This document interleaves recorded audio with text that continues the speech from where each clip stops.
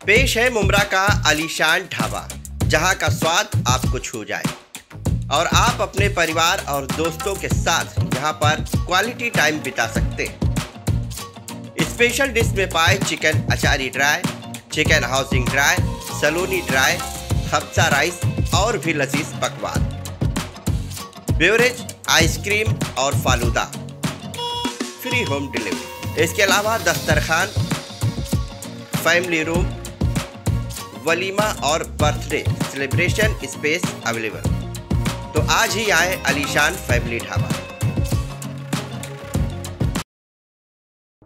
मुमरा के रेती बंदर पर भयानक कार एक्सीडेंट हुआ है।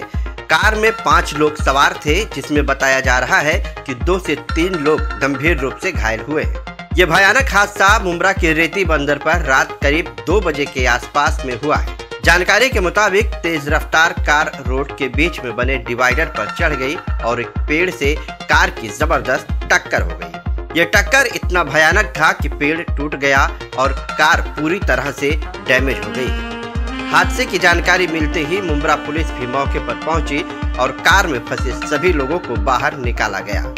इन्हें इलाज के लिए अस्पताल में भेजा गया है। बताया जा रहा है कि दो से तीन लोगों को काफ़ी चोट लगी है।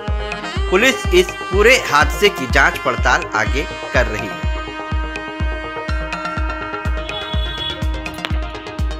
अल्लाह अकबर।